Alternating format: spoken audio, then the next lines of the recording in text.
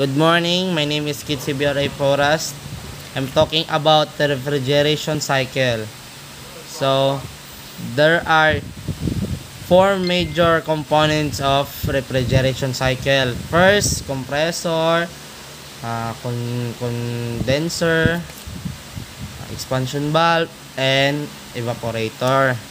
So, unsaon pag uh, asa mag-start ang refrigeration cycle. So, mag-start ang refrigeration cycle sa low tem- low pressure, low temperature, low temperature o vapor refrigerant.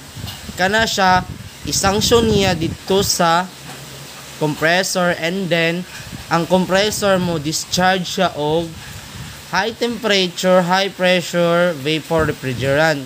So ang ang pag-discharge ato niya mo flow siya paingon dito sa condenser. So ang trabaho sa condenser is sa laon niya ang vapor to liquid. So mahimo na siya pagsalaan na niya ma adto na siya sa ubos, mahimo na siya high temperature, uh, high pressure liquid refrigerant.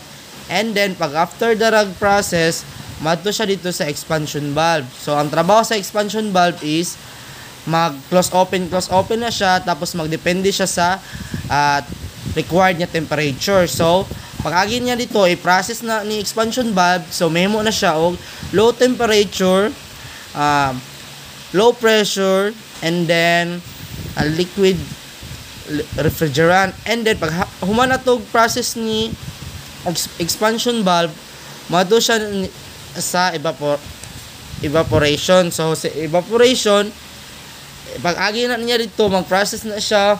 Pag process na, na niya mo transfer na po siya into ah uh, imuon I mean imuon na po niya og kuan ang liquid iyang ikuan iyang isala into vapor na po siya.